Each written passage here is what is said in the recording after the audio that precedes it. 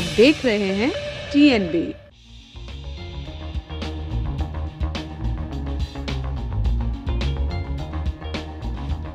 उत्तर प्रदेश के कुशीनगर में बड़ा हादसा हुआ है। दरअसल जिस घर में शादी थी, उस घर में अब मातम छाया हुआ है।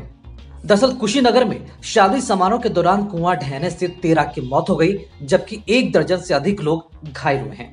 इस घटना के बाद गाँव के प्रिंस और रविशंकर समेत कई लोगों ने अपनी जान की परवाह नहीं की। और अंधेरे के बीच गहरे कुएँ में उतर गए।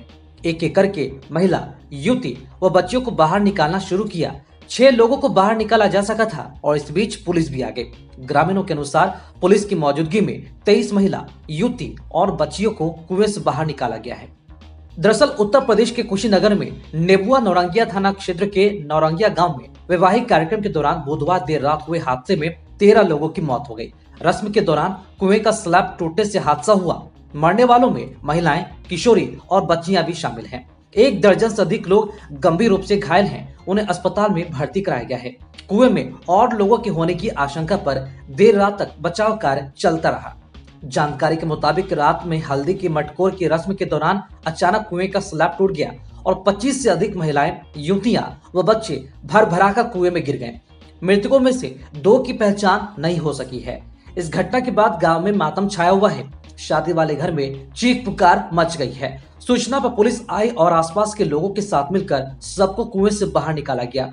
गाँव से जिला अस्पताल तक हाहाकार मचा हुआ है। कमिश्नर, डीआईजी, डीएम, एसपी ने मौके पर पहुंचकर राहत बचाव कार्य की जानकारी ली। इसके साथ ही पीड़ित परिवार को हर संभव मदद दिलाने का भरोसा दिलाया है। इस घटना के बारे में मिली जानकारी के मुताबिक नौरंगिया गाँव के स्कूल टोला निवासी परमेश्वर कुशवाहा के बेटे अमित कुशवाहा के विवाह पूर्व बुधवार देर रात हल्दी की रस्म अदा की जा रही थी। घर से करीब 100 मीटर दूर स्थित कुएँ के सामने मटकोर, यानी कि विवाह के पहले की रस्म का कार्यक्रम चल रहा था। जिस कुएँ के पास कार्यक्रम चल रहा था, उसे आरसीसी स्लैब बनाकर बंद किया गया था। रस्म के दौरान बड़ी संख्या में महिला, युवती व बच्चियाँ कुएँ पर बने स्लैब पर जाकर खड़े हो गए। अचानक स्लैब टूट गया और उस पर खड़ी महिला, युवतियाँ व बच्चियाँ कुएँ में समा गई। कुआँ काफ़ी गहरा है, पानी भी भरा था। इस घटना के बाद चीख पुकार मच गई। आसपास के लोगों ने राहत बचाव काम शुरू किया, लेकिन अंधेरा होने की वजह से कोई खास सफलता नहीं मिल सकी। इस बीच किसी व्यक्ति ने घटना की सूचना पुलिस को दी। दल बल के साथ आए पुलिस कर्मियों ने राहत बचाव कार्य तेज किया। जिन लोगों को कुएँ से बाहर निकाला गया, उन सबको जिला अस्पताल ले जाया गया। डॉक्टरों ने परीक्षण किया और तेरह लोगों को मृत घोषित कर दिया। सबके शव जिला अस्पताल की मोर्चरी के पास रखा गया है। यह देखकर हर कोई रोने लगा। एक साथ तेरह शव देखकर सबकी रूह काँप गई। इन मृतकों की हुई पहचान पूजा यादव 20 वर्षीय, शशिकला 15 वर्षीय, आरती 13 वर्षीय, पूजा चौरसिया 17 वर्षीय ज्योति चौरसिया 10 वर्षीय, मीरा 22 वर्षीय, ममता 35 वर्षीय, शकुंतला 34 वर्षीय, परी 20 वर्षीय, राधिका 20 वर्षीय, सुंदरी, नौ वर्षीय। इनमें से दो महिलाओं की शिनाख्त नहीं हो पाई है। डीएम ने हादसे में मरने वाले प्रत्येक के परिजनों को चार चार लाख रुपए सहायता राशि दिए जाने की बात कही है। घायलों की हालत गंभीर।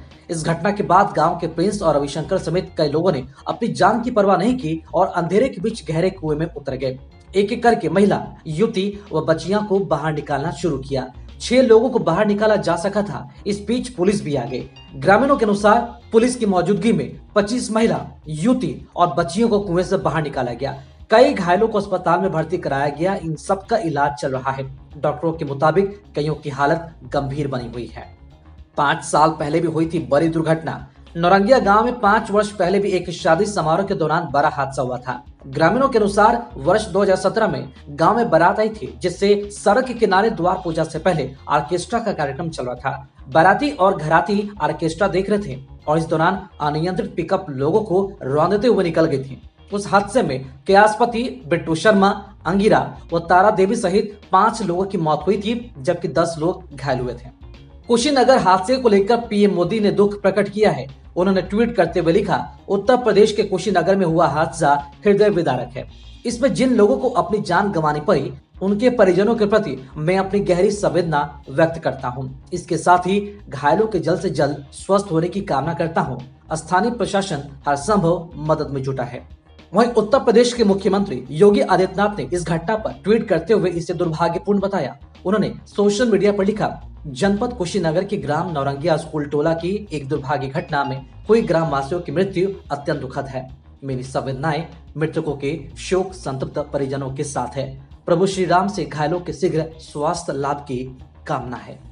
खबरों में फ़िलहाल इतना ही। देश और दुनिया की ताज़ा अपडेट्स के लिए लॉगिन करें www.thenationalbulletin.in पर।